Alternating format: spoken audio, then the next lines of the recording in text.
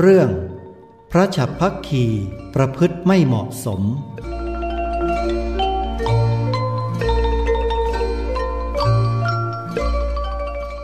สมัยนั้น พวกภิกษุฉับพักคีประพฤติไม่เหมาะสมเห็นปานนี้คือ ปลูกไม้ดอกเองบ้าง ให้ผู้อื่นปลูกบ้าง รดน้ำเองบ้าง ใช้ผู้อื่นรดบ้าง เก็บดอกไม้เองบ้าง ใช้ผู้อื่นเก็บบ้าง ร้อยดอกไม้เองบ้าง ใช้ผู้อื่นร้อยบ้างทำมาลัยต่อก้านเองบ้าง ใช้ผู้อื่นทำบ้างทำมาลัยเรียงก้านเองบ้าง ใช้ผู้อื่นทำบ้าง จัดดอกไม้ช่อเองบ้าง ใช้ผู้อื่นจัดบ้างทำดอกไม้พุ่มเองบ้าง ใช้ผู้อื่นทำบ้างทำดอกไม้เสิร์เองบ้าง ใช้ผู้อื่นทำบ้าง ทำดอกไม้พวงเองบ้าง ใช้ผู้อื่นทำบ้างทำดอกไม้แผงประดับอกเองบ้าง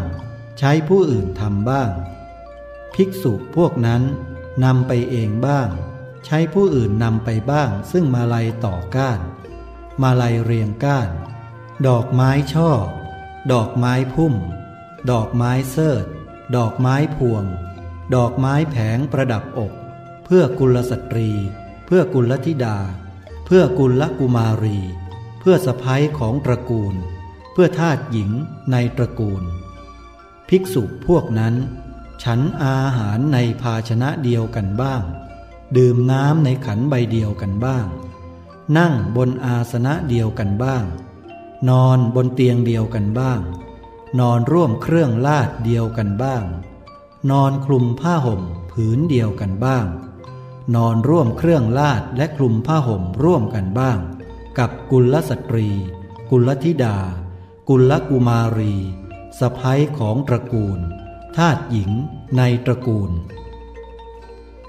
ภิกษุพวกนั้น ฉันอาหารในเวลาวิกาลบ้าง ดื่มน้ำเมาบ้าง ทัดทรงดอกไม้ของหอมและเครื่องรูปไหลบ้าง ฟ้อนรำบ้าง ขับร้องบ้าง ประโคมบ้าง เต้นรำบ้าง ฟ้อนรำกับหญิงฟ้อนรำบ้าง ขับร้องกับหญิงฟ้อนรำบ้าง ประโคมกับหญิงฟ้อนรำบ้าง เต้นรำกับหญิงฟ้อนรำบ้าง ฟ้อนรำกับหญิงขับร้องบ้าง ขับร้องกับหญิงขับร้องบ้าง ประโคมกับหญิงขับร้องบ้าง เต้นรำกับหญิงขับร้องบ้าง ฟ้อนรำกับหญิงประโคมบ้าง ขับร้องกับหญิงประโคมบ้าง ประโคมกับหญิงประโคมบ้าง เต้นรำกับหญิงประโคมบ้าง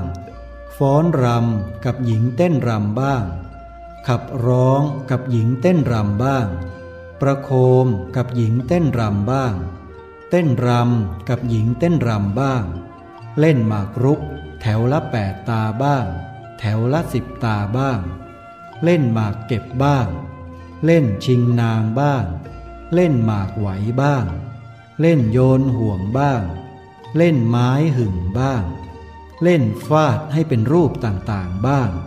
เล่นสกาบ้าง เล่นเป่าใบไม้บ้าง เล่นไถน้อยๆบ้าง เล่นหกขเมนบ้าง เล่นไม้กังหันบ้าง เล่นตวงทรายด้วยใบไม้บ้าง เล่นรถน้อยๆบ้าง เล่นธนูน้อยๆบ้าง เล่นเขียนทายบ้าง เล่นทายใจบ้าง เล่นเลียนคนพิการบ้าง หัดขี่ช้างบ้าง หัดขี่ม้าบ้าง หัดขี่รถบ้าง หัดเพลงอาวุธบ้าง